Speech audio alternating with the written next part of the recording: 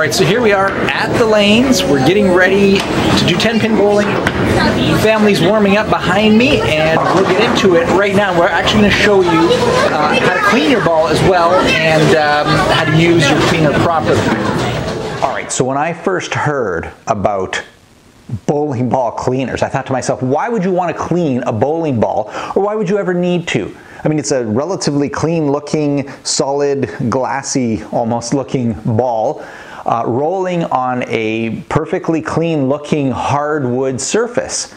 What's to get dirty? Well, you'd be surprised. I'll tell you in a second, but make sure you click like and subscribe below so that you can get all kinds of tips on tons of sports and leisure equipment that you are considering buying.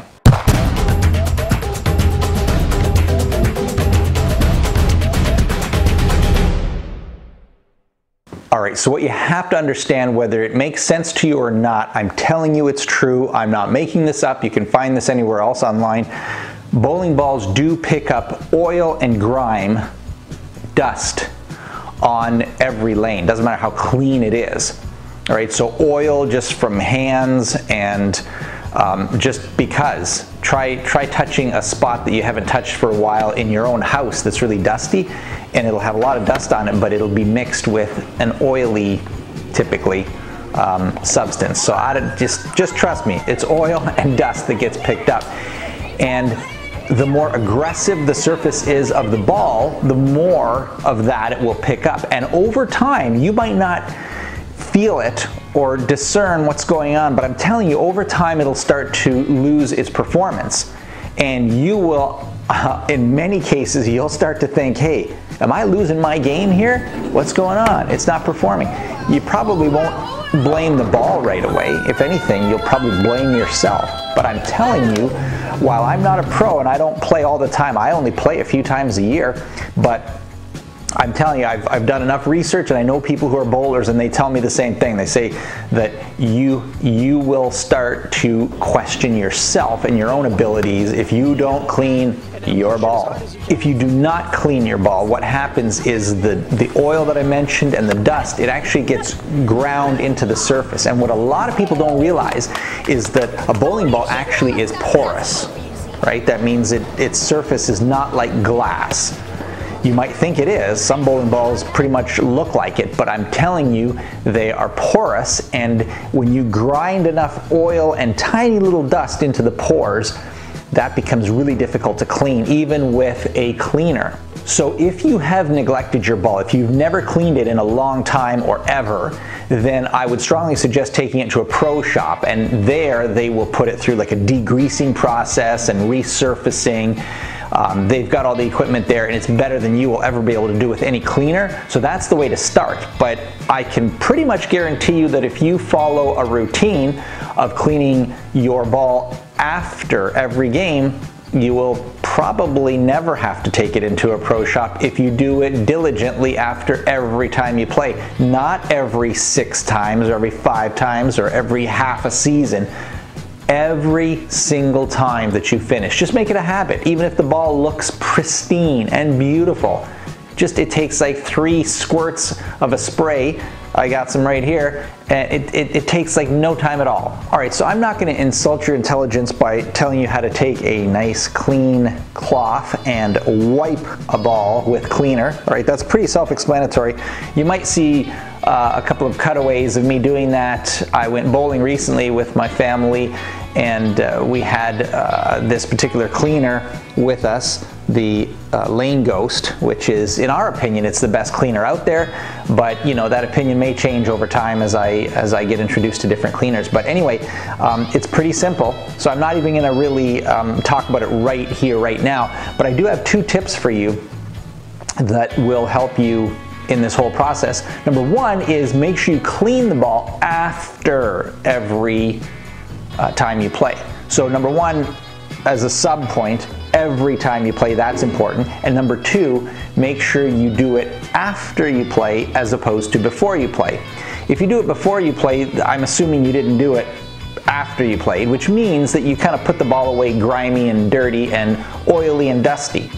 And uh, you probably will still be able to wipe that off if you do it before. But the problem is it just you're just leaving dust and dirt or uh, dust and oil to just sit on there and marinate longer than it should. And over time it'll be harder to take off. So I would strongly suggest to clean it every time but just as importantly do it after you finish bowling uh, before you put your ball away uh, for the day. And the second thing is, I mentioned it earlier, but the more aggressive the surface is the ball, uh, there's all kinds of different surfaces that you can get, and, and you probably know that, but if you don't, you can research that online pretty easily. The more aggressive surfaces that kind of catch a bit more and um, just perform in a different way, they will require more cleaning because they will collect more of that oil and that dust. All right, so I mentioned earlier that you may never have to take your ball in for um, any sort of deep cleaning treatment at a pro shop if you diligently spray it and wipe it every single time you play. That's probably true, but it's probably not a bad idea as well if you're really serious about your game. Like I'm not really. I'm just purely recreational with my family, but if you play in a league, uh, definitely I would consider taking it in to get a deep clean and treatment at a pro shop, probably every 60 to 80 games or so.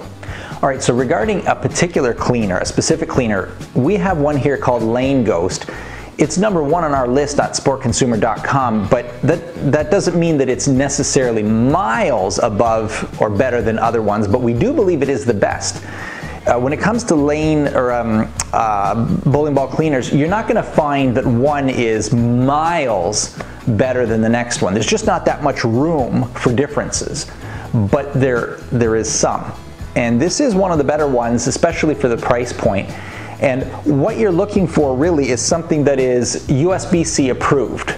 All right, now if it's not, you're not going to even be able to use it for tournaments and um, you know serious league play if they find that you're using one that's not USBC approved. So there, there are checks that happen, there are checks and balances, so you can't just willy-nilly buy any one you want uh, unless it is USBC approved, but it doesn't, you may as well because they're all about the same price, uh, ish. So, um, you know, it's probably a good idea just to look for the approved ones rather than not just to stay out of trouble just in case. Plus, it's the, they're at the top of the line anyway. So, Lane Ghost, we have found that it's probably by by our own experience and some of the research we've done it's probably the the cleaner that we found that requires the least amount of effort and rubbing once you apply it so the process really is just simply to spray it on wait for about five seconds is what Lane Ghost says uh, on the on the container and then just wipe it off. I would give it a very good sturdy solid wipe, uh, not just a gentle one. But overall we found that Lane Ghost required less overall pressure with our thumbs uh, and our fingers to remove like scuffs and dirt and that sort of thing. Um, another interesting thing, we had a ball that we were told was really clean, uh, didn't need cleaning, and it was at the at the lanes where we were the other day, and we cleaned it after we played. And it didn't really seem, I mean, the ball itself didn't look that much different because it was fairly clean, but um, on this particular cloth I have here, it's hard to see. I don't even think the camera could see it, but it's really obvious in real life that, that where my fingers were, there's some dark marks, and I just rubbed a little area um, you can see in the video or the, the uh, cutaway that I did there just before we finished, I did a bit of a clean cleaning job and it, it wasn't all over. It was just in one small area and I really just pressed my fingers down into it and, it's, and it did leave a whole bunch, there's like my handprint is on here and uh, it left dirt.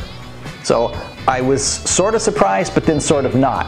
After doing some research and seeing how effective ball cleaner is, I, I, was kind of expecting some dirt even on the cleanest balls. So that's why I'd strongly suggest uh, a ball cleaner and our recommendation is Lane Ghost, but again, if you choose any of the other ones on our list, it's not going to be the worst thing in the world. The last thing I will say about Lane Ghost is that it actually comes with a really, really nice cloth that is perfect for the job.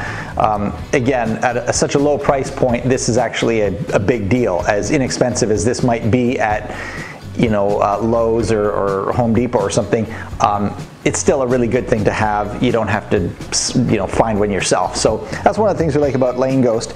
And uh, the other thing is that it is a bit lower on the price point than others, and they do have great customer service. If there's a problem with it, they have promised to make it right. Whatever that means, they'll make it right. So guys, if you appreciate tips like this that help you with some intelligence for your sport, please do like and subscribe below. It helps me and my family continue to make videos for you guys. And uh, yeah, I appreciate you stopping by and I look forward to helping you out with our next video next time. Haven, are you still there at the lanes with your brothers and your mom? I know I left a while ago. You guys are still there, aren't you? Hey, can you say bye to everybody? Okay, everyone, thanks for watching. Bye.